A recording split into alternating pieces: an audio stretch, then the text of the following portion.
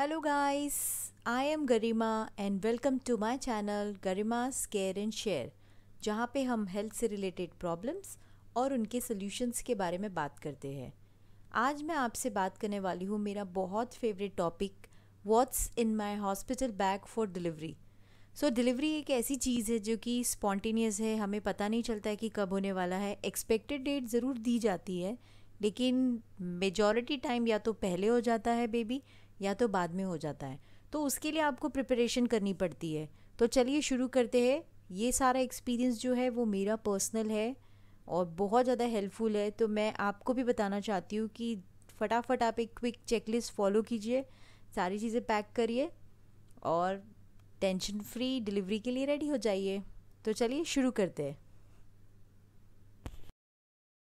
हम लोगों को हॉस्पिटल बैग पैकिंग के लिए तीन हिस्से में पैकिंग शुरू करनी है। पहला है बेबी के लिए सेकंड है मदर के लिए और थर्ड है केयर गिवर के लिए। केयर गिवर मतलब जो आपके साथ हॉस्पिटल में रहने वाला है।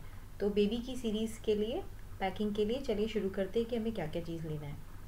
तो सबसे पहले आपको कपड़े लेने हैं। कपड़े आप अगर दोनों जेंडर्स के लोगे तो बहुत अच्छा हो जाएगा। बिकॉज़ हमें पता नहीं होता है कि क्या होने वाला है। तो मैंने भी थोड़े कपड़े बॉयज़ के और थोड़े कपड़े गर्ल्स के ऐसे ख़रीद के रखे हुए थे। एटलीस्ट सात से आठ खरीद लेंगे तो बहुत अच्छा होगा। बाद में आप अपनी पसंद से ले सकते हैं। नेक्स्ट है नैपीज़ और डाइपर्स तो नैपीज़ और डाइपर्स बहुत ज़्यादा लगते हैं बिकॉज़ न्यूबॉर्न बेबी काफ़ी जल्दी सुसु और पॉटी करते हैं। तो दिन में कम से कम दस से बारह तो दिन में लगी जाती है। तो मुझे ऐसा लगता है कि आप बीस से तीस पहले से ही रेडी करके रख लो। और डाइपर्स आपको जो भी ब्रांड जैसा लगता है, अगर ब्रांड के बारे में इन्फॉर्मेशन चाहिए तो आप मुझे कमेंट सेक्शन में बताओ। मैं उसके बारे में डिस्क्राइब करूँगी कि कौन सा डाइपर अच्छा है। डाइपर्स का भी पैकेट आप लेके रख सकते हो, ये साइजेस में अवेलेबल होते हैं। तो छोटे बेबी के लिए इन्फेंट साइज़ वाला होता है एक्सेस साइज़ वो आप यूज़ कर सकते हो। स्वेडल क्लॉथ है नेक्स्ट स्वेडल क्लॉथ मतलब बेबी को रैप करने के लिए क्लॉथ आता है। काफ़ी वेराइटीज़ में आते हैं, काफ़ी फैब्रिक्स में आते हैं। इससे एक्चुअली क्या होता है स्वेडलिंग करने से कि जब बेबी होता है, उसकी मसाज वगैरह करो और उसको उस क्लोथ में रैप करके अगर आप रखते हो तो काफ़ी देर तक लंबी गहरी नींद लेता है। लंबी गहरी नींद लेता है तो बेबी को रेस्ट भी होता है और क्रैंकीपना उनका सब कम होता है तो ये बहुत अच्छी चीज़ है, ये आपने सीखना चाहिए। स्वेटलिंग की भी एक पर्टिकुलर टेक्निक होती है। अगर आपको चाहिए तो आप मुझे बताइए, मैं उसके ऊपर एक पर्टिकुलर वीडियो आपको बता के, बना के बता सकती हूँ। नेक्स्ट है बिप्स ये इसलिए चाहिए बिकॉज़ जब भी बच्चों को हम फीडिंग कराते हैं तो अगर हमने उनको बर्प नहीं दिलाई, डकार नहीं दिलाई तो वो जो सारा जो मटेरियल होता है, वो वॉमिट कर देते बाहर। तो वो उससे हमारे भी कपड़े ख़राब हो जाते हैं और बेबी के भी कपड़े काफ़ी ख़राब हो जाते हैं। तो बेटर है कि आप उसे बिप्स यूज़ करिए। तो ये भी आप थोड़े से मंगा के रख सकते हो। एटलीस्ट पाँच से छः मंगा लो सफिशेंट हो जाएगा। नेक्स्ट है ब्लैंकेट्स ब्लैंकेट्स इसलिए इंपॉर्टेंट है। इसका कोई सीज़न से रोल नहीं है। बेबी को न्यूबॉर्न बेबी को हमें थोड़ा सा वार्म रखना ही पड़ता है। तो मुझे तो ऐसा लगता है कि ब्लैंकेट ज़रूरी है रखना। एटलीस्ट दो ब्लैंकेट आप ले सकते हो। ऑल्टरनेट आप उसको चेंज कर सकते हो। ज़्यादा लेना है तो वो भी आपकी मर्ज़ी है। आप ले सकते हैं, इसमें कोई इशू नहीं है, लेकिन एक बहुत इंपॉर्टेंट चीज़ है। फिर कैप है बिकॉज़ उनके हेड को कवर रखना ज़रूरी होता है। तो कैप मुझे ऐसा लगता है कि आप कॉटन की कैप लोगे तो अच्छा होगा। वुलन कैप का थोड़ा सा कभी कभी फैब्रिक रफ हो जाता है। कॉटन में ज़्यादा रिकमेंड करूँगी। कॉटन की आप ले सकते हो। नेक्स्ट है मिटन्स मतलब हैंड ग्लव्स ये भी कॉटन के ज़्यादा बेटर रहते हैं। ये बेबी के हाथ को प्रिवेंट करने के लिए रहता है, ठंडी वगैरह से बचाने में। अगर ठंडी का मौसम ज़्यादा है तो ये सारी चीज़ें ज़्यादा हेल्पफुल होती है। फिर है बेबी वेस्ट मतलब बनियान। ये एक्चुअली इसलिए इंपॉर्टेंट है कि छोटे बच्चों के कई फैब्रिक से एलर्जी हो जाती है, कोई चीज़ उन्हें सूट नहीं करती, कोई कपड़ा नहीं सूट करता है। तो बेटर है कि आप एक बनियान उनको अंदर पहना दो, उसके ऊपर कोई भी कपड़े पहनाओ तो उनको कोई भी एलर्जी वगैरह, कोई रिएक्शन या कट्स वगैरह से बच जाओगे। तो मुझे ऐसा लगता है कि ये वेस्ट ज़रूर से लेना चाहिए। और साइज़ इसका भी सेम इन्फेंट साइज़ मिलता है मार्केट में, आप वो ले सकते हो। फिर सॉक्स स्वेटर नैपकिन बहुत इंपॉर्टेंट है। सॉक्स आपको काफ़ी लगेंगे, कम से कम छः से सात रख लो बिकॉज़ न्यूबॉर्न बेबी होता है, काफ़ी बार वो सुसु करता है तो बार बार आपको सॉक्स भी चेंज करने पड़ते हैं। तो बेटर है कि आप सॉक्स भी सात से आठ वेराइटी के रख लो। स्वेटर के लिए मैं बोलूँगी सीजनल के हिसाब से मत जाओ। स्वेटर एक्चुअली में काम आता ही है, चाहे सर्दी हो या नहीं हो। तो स्वेटर का मैं रिकमेंड करूँगी कि आप सामने फ्रंट बटन वाले स्वेटर्स अगर लेंगे तो बेटर रहेगा। इसको आप दो टाइप में डिवाइड कर लो। एक रखो हाफ़ स्लीव्स वाला और एक फुल स्लीव्स वाला। तो दोनों जिस मौसम के अकॉर्डिंगली आपको करना है, वैसे आप स्वेटर को पहना सकते हो। लेकिन फ्रंट बटन सबसे इंपॉर्टेंट है। नैपकिन्स को भी दो टाइप में डिवाइड कर लो। एक रखो बेबी के सिर्फ़ माउथ क्लीन करने के लिए और एक उसकी बॉडी को क्लीन करने के लिए। तो नैपकिन्स का भी आप सेट बना सकते हो, उसको कलर कोऑर्डिनेशंस के कर सकते हो, एक लाइट कलर समझ लो माउथ के लिए तो डार्क कलर या कोई प्रिंट डिफरेंट ले सकते हो, वो आपकी चॉइस है। रबर शीट सबसे इंपॉर्टेंट है बिकॉज़ सुसु करते हैं तो सारा बेड वगैरह ख़राब हो जाता है। तो रबर शीट के लिए आप ऐसा कर सकते हो कि एक डबल बेड की ले सकते हो या सिंगल बेड की ले सकते हो, और छोटी वाली जो रहती है वो दो आप ले सकते हो ताकि उसको आप चेंज कर सकते हो। उसके ऊपर जो कॉटन का गोधड़ी आती है वो बिछाओ रबर शीट रखो और फिर बेबी को रखो तो एटलीस्ट आपके कपड़े भी ख़राब नहीं होंगे और जो बेड है वो भी प्रिवेंट करेगा। फीडिंग बॉटल ऑप्शनल है। अगर आपको चाहिए तो आप ले सकते हो। मैंने भी यूज़ किया था। मैंने 120 ट्वेंटी की एंटी कॉलिक वाली जो निपल्स होती है वो वाली बॉटल लिया था। सो so, ये आपके ऊपर डिपेंड करता है कि आपको ये चाहिए या नहीं चाहिए। अब हम बात करने वाले हैं बेबी एसेंशियल्स के बारे में। तो उसमें सबसे पहला है फॉर्मूला मिल्क ये स्टार्टिंग में जैसे ही न्यूबॉर्न बेबी होता है तो उसे फॉर्मूला मिल्क ही दिया जाता है। तो ये आपका डॉक्टर प्रिस्क्राइब करता है। काफ़ी ब्रांड्स में अवेलेबल है, लेकिन एक पर्टिकुलर ब्रांड है जो मैं अभी तक का यूज़ कर रही हूँ। मेरी डॉटर अभी ट्वेल्व मंथ्स की है, लेकिन वो काफ़ी हेल्पफुल है। तो मैं आपको बता सकती हूँ, आप मुझे कमेंट सेक्शन में बताइए, इसके बारे में मैं आपको इन्फॉर्मेशन दे सकती हूँ। नेक्स्ट है डाइपर रैश क्रीम काफ़ी लोग डायपर्स पहनाते हैं बच्चे को तो उन्हें रैशेज़ आने लग जाते हैं। तो डायपर रैश क्रीम भी आप अगर पहले से लेंगे तो अच्छा है, बाद में भी ले सकते हो, कोई कंपलसरी नहीं है। फिर जो नेक्स्ट चीज़ें हैं, ये सारी बेबी केयर के लिए हमें लगेंगी, जो है soap powder baby oil shampoo nail cutter सबसे इंपॉर्टेंट है बिकॉज़ न्यू बॉर्न बेबी के नेल्स काफ़ी जल्दी ग्रो होने लग जाते हैं। इनफैक्ट वीकली आपको उनके नेल्स कट करना पड़ता है तो नेल कटर भी आप पहले से लेके रख लीजिए। नेक्स्ट सबसे इंपॉर्टेंट है wet pipes wet wipes actually काफ़ी चीज़ों के लिए काम आता है सारी चीज़ें पोछने के लिए साफ़ करने के लिए या कुछ नीचे गिरता है तो मुझे तो वेट वाइप्स काफ़ी हेल्पफुल लगी है तो वेट वाइप्स का भी पैकेट आप ला, ला के रख लीजिए बहुत यूज़फुल रहेगा। फिर कॉटन है कॉटन सबसे इंपॉर्टेंट है बेबी को वाइप करने के लिए क्लीनिंग पर्पसेस के लिए जब वो पॉटी वगैरह करते हैं तो आप हल्के से पानी में डिप करो गर्म पानी में हल्का गर्म पानी में और कॉटन से आप उसको क्लीन कर सकते हो तो कॉटन भी बहुत ज़रूरी है, पहले से ला के रख लेना। फिर डेटॉल तो सबसे इंपॉर्टेंट है बिकॉज़ हम सारी बेबी प्रोडक्ट्स जो भी चीज़ें हैं सबको वॉश करने में एटलीस्ट थोड़ा सा डेटॉल डाल देंगे तो वो डिसइनफेक्टेंट का काम करता है। तो डेटॉल तो मस्ट होना चाहिए। फिर अगर आप फीडिंग बॉटल यूज़ कर रहे हो तो आपको बॉटल वॉशिंग के ब्रशेज़ भी लगेंगे। तो ब्रशेज़ भी आप रख सकते हो, अगर आपने बॉटल लिया है तो। सैनिटाइज़र सबसे इंपॉर्टेंट है। बाहर से सब लोग आते हैं बेबी से मिलने तो आपको पता नहीं है कि उनकी हैंड हाइजीन कितनी अच्छी है, कितनी नहीं है और वो कहाँ से आ रहे हैं। तो एटलीस्ट सैनिटाइज़र आप लेके रखो ताकि जब भी कोई आए आपके कमरे में आपसे या बेबी से मिलने तो एटलीस्ट उनके हैंड्स क्लीन हो। अगर वो आपकी बेबी को टच करते हैं, कोई बैक्टीरिया वायरसेस बेबी में ट्रांसफ़र नहीं होंगे। फिर नेक्स्ट है प्लास्टिक क्लोथ हैंगर्स ये एक्चुअली बहुत इंपॉर्टेंट होते हैं बिकॉज़ बच्चों के बहुत सारे कपड़े होते हैं। तो जो हैंगर्स होते हैं, इसमें जो क्लिप्स लगी रहती है तो उसमें हम एक हैंगर में काफ़ी सारे कपड़े एक ही जगह पे हम लोग सुखा सकते हैं। सर्कल स्क्वायर रेक्टेंगल शेप्स में अवेलेबल होता है मार्केट में। तो ये ये बहुत इंपॉर्टेंट है एक्चुअली आप लाएँगे तो बहुत हेल्पफुल रहेगा। फिर लास्ट में बात करने वाली हूँ रैटल्स या स्क्वीजी टॉय अगर आपको चाहिए तो आप ला सकते हो बच्चे को थोड़ा एंटरटेन करने के लिए या थोड़ा उसका माइंड डाइवर्ट करने के लिए। ये भी आप ले सकते हो ऑप्शनल है, आपके ऊपर डिपेंड करता है। अब बारी है मदर के लिए आपको क्या पैक करना है। So new mommies get ready तो सबसे पहले है लूज़ क्लोथिंग तो जो भी आपका साइज़ है, अभी करंटली प्रेगनेंसी में आपने वेट गेन किया रहता है तो उससे आप एक साइज़ ज़्यादा के कपड़े ले लो, क्योंकि डिलीवरी होती है। अगर सीजेरियन है तो स्टिचेस वगैरह रहते हैं तो अगर आपको चाहिए, आपको लगता है कि इनकन्वीनियंट है तो अगर आप एक एक साइज़ बड़ा ले लेंगे तो वो हमेशा बेटर रहेगा। तो आप लूज़ क्लोथिंग ले लीजिए, आपको जो भी चाहिए।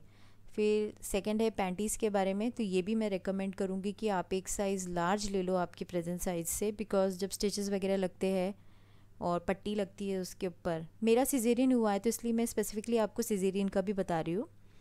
तो अगर आप एक साइज़ बड़ा लेंगे तो वो बेटर होता है, आपको एकदम टाइट नहीं लगता है।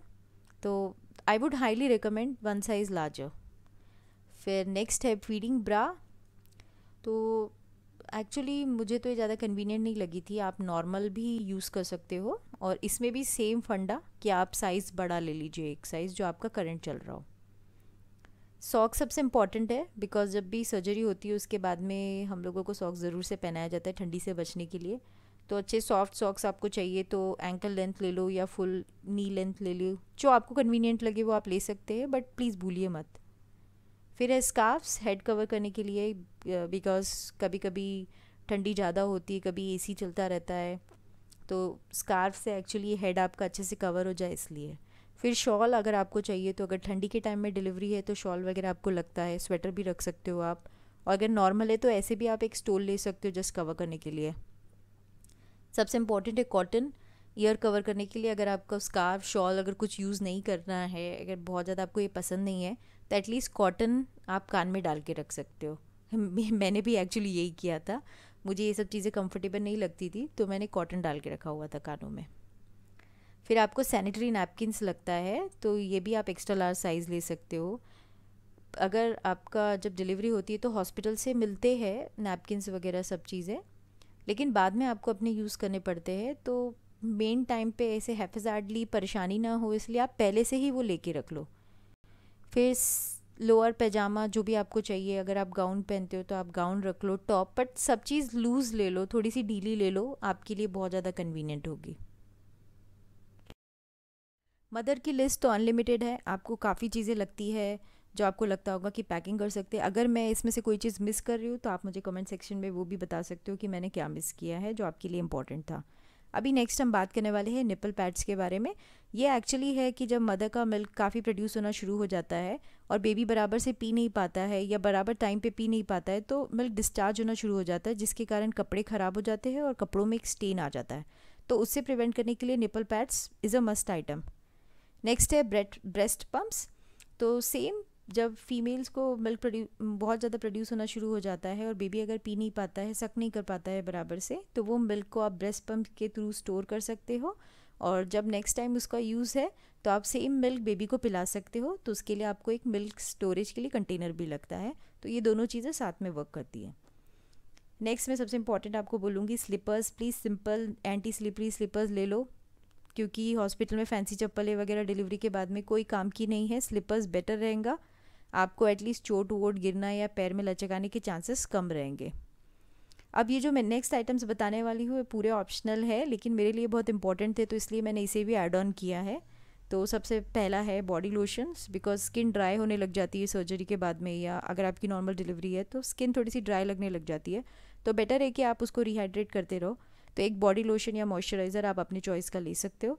लिप बाम्स भी बहुत ज़रूरी है बिकॉज़ मेरे पर्सनल एक्सपीरियंस में मेरी सर्जरीज के टाइम पे मेरे लिप्स बहुत ड्राई होने शुरू हो गए थे। तो एक अजीब सा लगता है। तो उसके लिए लिप बाम है तो आपके लिए काफ़ी हेल्पफुल रहेगा। फिर लोग आपसे मिलने आते हैं पर्सनली जब बेबी होता है, काफ़ी लोग विज़िट करते हैं तो एटलीस्ट आपने अच्छा दिखना चाहिए। तो एटलीस्ट हेयर कॉम पाउडर थोड़ा सा तो आप अपने पास रख सकते हो। फिर सबसे इंपॉर्टेंट है कैमरा ताकि आपके बेबी के सारे प्रेशियस मोमेंट आप कैप्चर कर सको। और उसके डे टू डे सारी एक्टिविटीज़ को आप कैप्चर कर सको। तो कैमरा को प्लीज़ मत भूलिए। और लास्टली है मोबाइल एंड चार्जर जिसके बिना तो ऑलमोस्ट आजकल लोगों का रहना ही नहीं हो पाता है। तो प्लीज़ उसको भी मत भूलो। मोस्टली लोग मोबाइल रख देते बट चार्जर भूल जाते। सो so, ये सारी चीज़ें हैं मदर के लिए। बेबी की पैकिंग मदर की पैक पैकिंग तो सबसे इंपॉर्टेंट है लेकिन केयर गिवर की पैकिंग भी बहुत इंपॉर्टेंट होती है बिकॉज़ जो आदमी या जो आपका पार्टनर है जो आपकी केयर करने वाला है मेरे केस में मेरी मदर थी तो उसके लिए भी कपड़े रखना बहुत इंपॉर्टेंट है क्योंकि सारा काम उन्हीं के ऊपर में आ जाता है तो वो ओवरलोडेड होते हैं। तो इसलिए उनकी भी पैकिंग अगर आप पहले से करके रखोगे तो आपके लिए बहुत ज़्यादा हेल्पफुल होगा। सो so, उसमें है सबसे मेन है उनके कपड़े तो आपके केयर गिवर के आप कपड़े एटलीस्ट तीन से चार पेयर रख लो। क्योंकि हॉस्पिटल में तीन से चार दिन रहना पड़ता है, अगर सीजेरियन है तो नॉर्मल डिलीवरी में दो दिन मोस्टली रखते हैं। सो डिपेंड करता है एवरी हॉस्पिटल्स की पॉलिसीज़ के अकॉर्डिंगली कि वो कितने देर हॉस्पिटलाइज करते हैं। उस हिसाब से आपने कपड़े रख लेने चाहिए। बेडशीट ऑप्शनल है। काफ़ी लोगों को हॉस्पिटल की बेडशीट पसंद नहीं है। मुझे भी खास करके पसंद नहीं थी तो मैंने अपनी बेडशीट कैरी किया हुआ था। अब जो सारी चीज़ है यूटेंसिल्स जो कि डे टू डे हॉस्पिटल में आपको लगती है तो उसके बारे में मैं भी आपसे बात करूँगी। पहला है स्पून्स काफ़ी काफ़ी जब बेबी को फीडिंग कराना पड़ता है स्टार्टिंग में तो स्पून से उसको फ़ीड कराया जाता है तो एक कटोरी और स्पून तो ज़रूर से रखिए। ज़्यादा रखेंगे तो भी कोई प्रॉब्लम नहीं है। बोल्स रखिए, खाना खाने के लिए आपके, खुद के लिए भी और बच्चे के लिए भी काम आ जाता है। कप्स एंड ग्लासेस चाय, पानी सब पीने के लिए आपको लगता है। थर्मस दो ज़रूर से रखो, एक रखो पानी के लिए, क्योंकि मदर को गर्म पानी दिया जाता है, कुनकुना वाला तो एटलीस्ट थर्मस में वो स्टोर हो जाता है। और एक आप बेबी के लिए रखो बेबी के मिल्क के लिए। नेक्स्ट है प्लेट्स नाइफ सीज़र ये सीज़र वगैरह सब कुछ अगर काटना है, कई पैकेट्स होते हैं जिसको आपको काटना है तो सीज़र एटलीस्ट रहेगा तो हैंडी हो जाता है। फिर नेक्स्ट चीज़ें है सोप सेस तीन टाइप के बाथिंग क्लोथिंग और यूटेंसिल्स के लिए। तो स्टार्टिंग में बेबी जब पॉटी वगैरह करता है तो वहाँ पे जो केयर गिवर्स होते हैं हॉस्पिटल के, जो आया मौसी वगैरह होती है, वो लोग उसको क्लीनिंग करती है। तो उनको लगता है तो अगर आप कैरी करोगे तो बेटर है। तो ये मिस ना करो, इसलिए मैंने डाला है। मैंने भी एक्चुअली सब चीज़ लेके गई हुई थी तो इसलिए मैंने भी ऐड ऑन किया है कि आप इसको यूज़ कर सकते हो। फिर हैंड वॉश तो आपको लगेगा, और थोड़े से स्नैक्स और बिस्किट रख लो, आपके केयर गिवर को भी काम आ सकते, आपको भी काम आ सकते। हैं अगर आप हॉस्पिटल में भूखे हो जाते हो, और अगर आपका टिफ़िन आने में लेट हो गया है तो एटलीस्ट आप ये सब चीज़ कैरी कर सकते हो। अच्छा काफ़ी हॉस्पिटल्स होते हैं जहाँ पे ये सारी चीज़ें अलाउड नहीं होती है तो आप अपने डॉक्टर और हॉस्पिटल से एक बार कंफर्म कर लो कि कितनी चीज़ें अलाउड है, कितनी नहीं है बिकॉज़ कई जगहों पे खाना वगैरह वो सब खुद से देते। सो so, प्लीज़ वो पॉलिसीज़ आप एक बार चेक कर लीजिए उस हिसाब से आप अपनी पैकिंग कीजिए। बेबी सीरीज़ का ये मेरा पहला टॉपिक था। आगे और बहुत सारे टॉपिक्स है जो मैं बनाने वाली हूँ। सो so, अगर आपको उसके बारे में इन्फॉर्मेशन चाहिए तो उसके लिए आपको क्या करना पड़ेगा? आप उसके लिए आपको मेरा चैनल सब्सक्राइब करना पड़ेगा। So please subscribe to my channel and आज का टॉपिक आपको कैसा लगा है? प्लीज़ मुझे बताइए। और कोई डाउट है तो मुझे कमेंट सेक्शन में मैसेज कीजिए। I will definitely try to solve it and thank you so much guys आपने मेरे पुराने जो वीडियोज़ थे, उनको इतना ज़्यादा अप्रिशिएट किया है। I am really thankful to you and stay tuned to my channel thank you so much take care see you soon.